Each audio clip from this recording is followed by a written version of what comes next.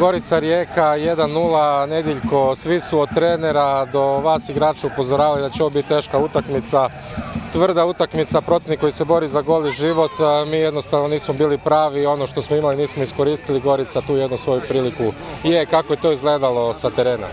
Kao što si već rekao, ovaj, imali smo sve prilike, nismo ih zabili. Mislim da je to odredilo tijek utakmice, da smo u prvom poluvremenu ovaj, realizirali neke šanse, možda bi utakmicu preveli u drugčijem e, raspoloženju.